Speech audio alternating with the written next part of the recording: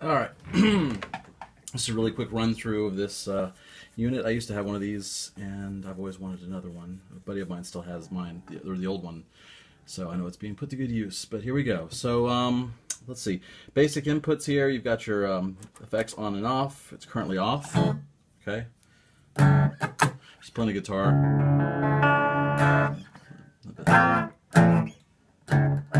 Right. So anyway, that's that. Um, so so we got input set pretty high. I got the output level. Then you got your input mix. You've got all. This is all effect. This is no effect all the way to the left. Um, from what I can tell, it seems like the sound is pretty isolated. Um, I know that my buddy was having some issues with the, uh, I think his other one.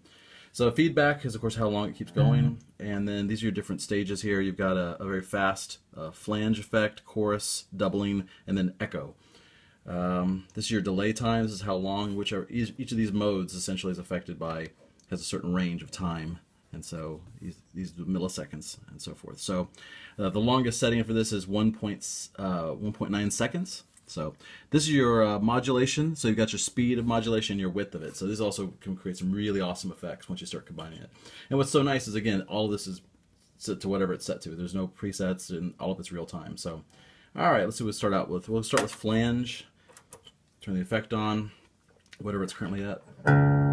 Okay, so feedback, it's like how strong you want the effect to be probably hear it's not super distinct right now because it's extremely slow. So we can do a few things here. Change the delay time. You can kind of hear it has kind of a hollow sound to it. And if I change it, this is like a fixed, because the width and the modulation are so slow, it kind of fixes it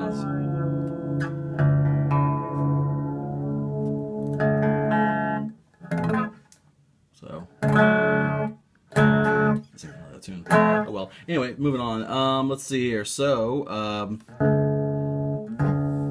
now, while in flange, we can mess with this stuff, which really is just making some really cool things happen. So check this out. So you increase the width a little bit.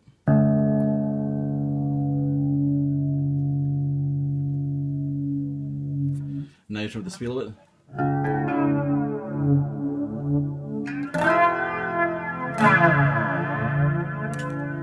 And of course, if you want to take it to extremes,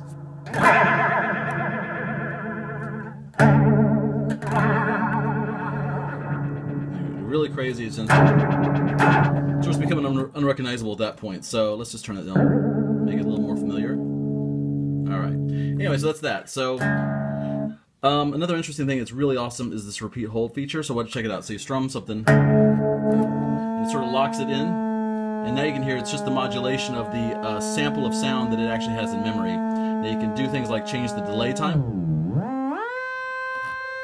Change also with the speed.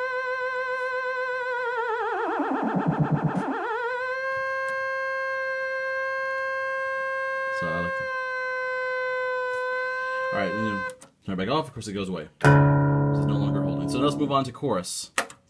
So see the chorus has a little bit more of a wetter sound but it's still very much a, a kind of flange. So again, we can change the delay time to give it an even crazier wet sound. And the width and the speed help affect this, of course. Turn it down a lot, you, it's really almost just like a really, really tight delay. You really don't get any effect at this point, just a almost a spring reverb sound. Right? So again, I put on hold.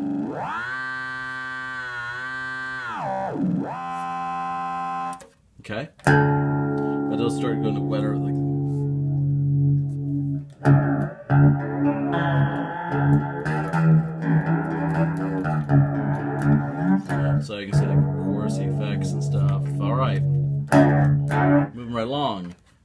Doubling. So this is a, much more of a distinct say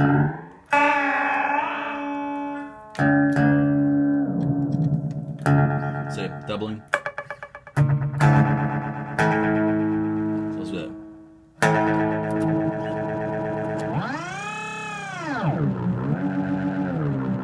what's fun about this now is you start getting to the point now where the sounds start to actually have personality. Like it's not just a really, really.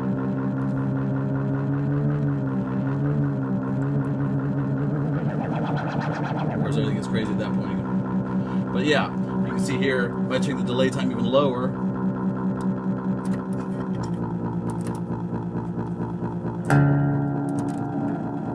What's fun is you can open and close the repeat hold to start layering different sounds together. Um, even more so in the next effect, but check it out.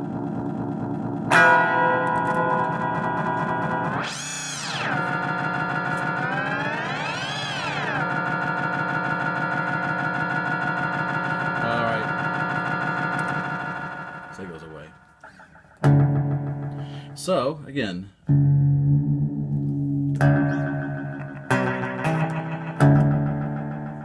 And the modulation stuff gets a, starts to get a little more weird when you start dealing with, uh, again, recognizable echoes and such. So, um, and of course the feedback can go on for a long time.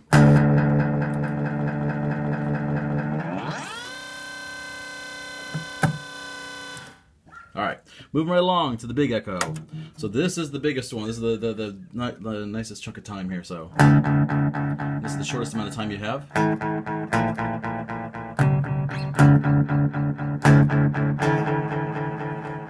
And of course, again, speed and width.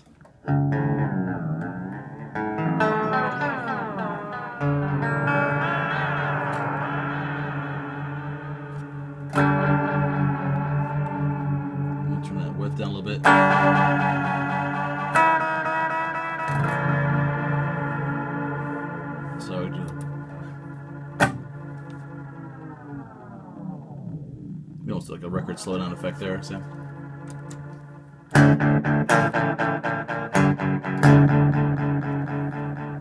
So we'll turn that stuff though. So here we go.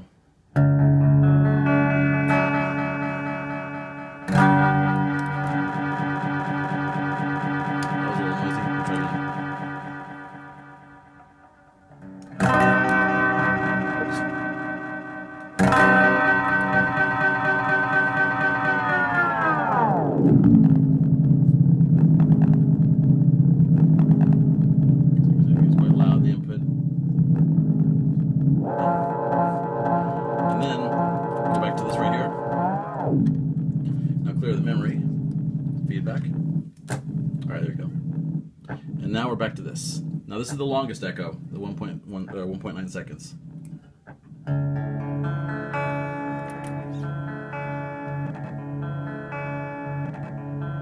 Interesting. I'll have to, I don't remember my, my old one, I don't remember doing that, so I need to look into what's going on with that. But, but as you can see now,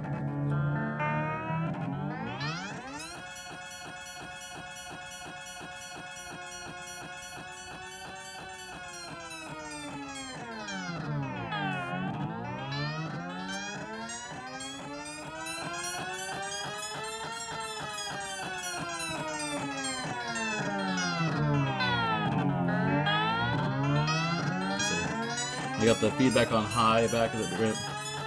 Let's see, ready?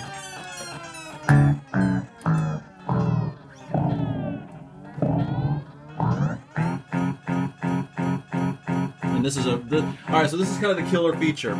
Probably should have shown you this sooner than later, but anyway, check this out. So one of the things I love about this particular uh, rack effect processor is the fact that this, it remembers the actual the stuff in the memory. So let's back up for a second. Okay, so check this out. Take it off. Let's go and flush the memory real fast. Okay, so what's cool is it remembers whatever's in memory when you boot repeat hold, but not just you know whatever it's at, but it remembers it when you switch to the different modes. And I've had other delay uh, pedals or, and effects that don't do this. So, all right, so check it out. So you strum out something here like this. Okay. Um,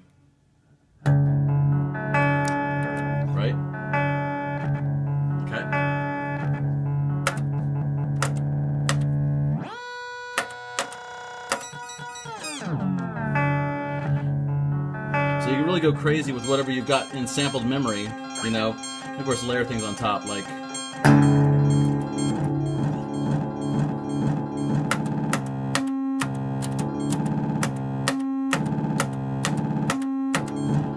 So it's really cool. I really uh,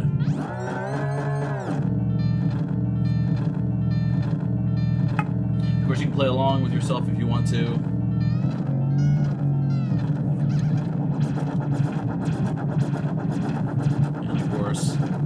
All that craziness,